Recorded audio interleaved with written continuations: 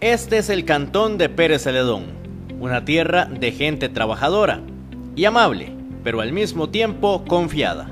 Y esa confianza la aprovechan los delincuentes para cometer delitos contra la propiedad, actitudes que hay que cambiar y en eso trabaja la fuerza pública. Por ello hemos eh, estado trabajando en una estrategia que hemos llamado cambio de hábitos y costumbres que facilitan la comisión de delitos contra la propiedad.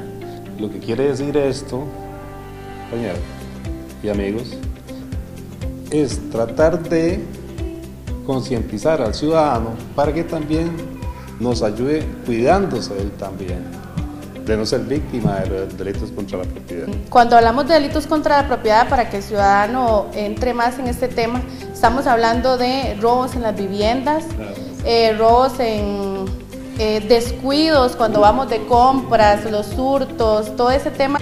El cambio en la forma que viven las personas es fundamental para bajar las estadísticas de robos en el cantón.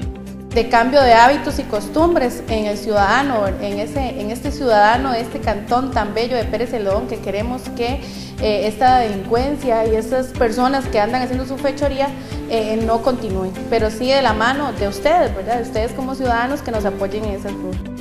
Nueve consejos son vitales para evitar ser víctima de los delitos contra la propiedad. Puertas y ventanas.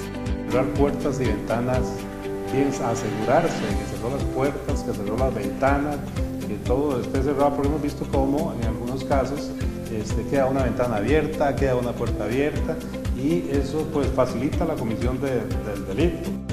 Cuidado con los teléfonos celulares.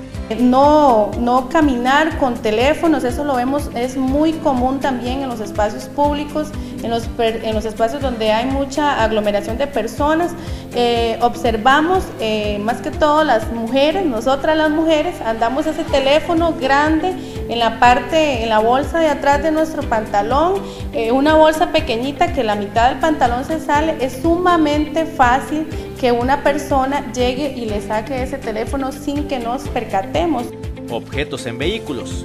No dejar artículos de valor en el vehículo, eso hemos visto cómo y hemos atendido incidencias donde llegamos y, vemos que en el vehículo tienen objetos de valor dentro del vehículo. Comunidades organizadas organización comunal, por favor, si ustedes van a salir de paseo, van a dejar su casa sola, por favor comuniquen a un vecino, a una persona de confianza que pueda estar atenta a cualquier ruido, a cualquier situación. Cuidado con las zonas oscuras. No caminar en zonas eh, solas, inseguras, eh, con poca luz. Si vamos a caminar por esa zona o tenemos que de por sí pasar por ahí, pues hagámoslo acompañar de, de otra persona, de un amigo, un compañero. Construcciones inseguras construimos una bodega un poco insegura, pero resulta que se nos hace muy fácil que en esa bodega empecemos a guardar cosas de valor. Ahí empezamos a guardar, guardar esos artículos que son de valor, pero que no tenemos espacio en nuestra casa. Eh, son bodegas que tal vez están cerradas con fibrolit, eh, bodegas sin ningún tipo de candado, sin ningún tipo de seguro objetos en mesas. Bolsos o artículos en mesas de restaurantes. Hemos visto cómo recibimos mucha incidencia donde nos llaman y nos dicen que me acaban de, robar el teléfono celular, por ejemplo, en un bar o en un restaurante. Y resulta ser que este ciudadano estaba ahí, ya sea cenando o estaba ahí tomándose algún fresco y dejó el celular en el mostrador, fue a los baños y cuando vino ya no estaba.